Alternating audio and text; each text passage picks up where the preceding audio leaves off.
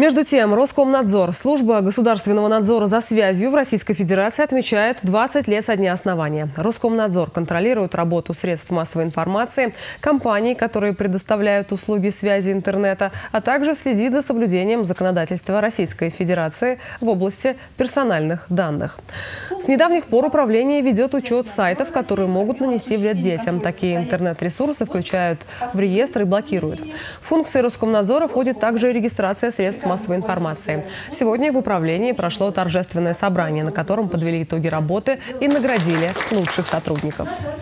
Многие жители нашей страны могут вспомнить, что за эти 20 лет действительно произошли большие качественные скачки в оказании услуг связи на территории Российской Федерации. В эти дни мы рассматриваем новые направления деятельности, в отношении которых будет развиваться служба надзора в сфере связи, информационных технологий и массовых коммуникаций. Как я уже говорила, э, широкое внедрение интернета в нашу сферу, в нашу жизнь будет э, как раз являться э, основным источником надзора нашей службы.